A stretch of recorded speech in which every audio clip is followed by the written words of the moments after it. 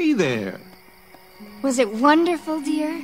Oh, yeah. They swooped down and pulled me right out of my seat. Spink and Forcible. Only they weren't old ladies. That was just a disguise. But then I was flying through the air and it was.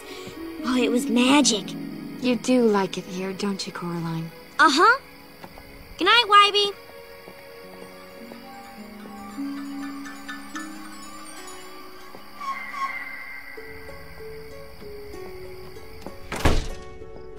You could stay here forever, if you want to.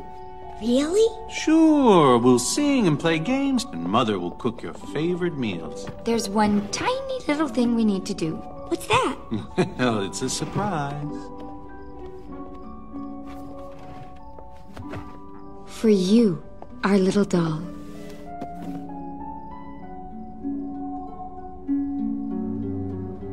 Black is traditional. But if you'd prefer pink, or vermilion, or chartreuse. Though you might make me jealous. No way! You're not sewing buttons in my eyes! Oh, but we need a yes if you want to stay here. So sharp you won't feel a thing. Ow! There now. It's your decision, darling. We only want what's best for you. I- I'm going to bed. Right now.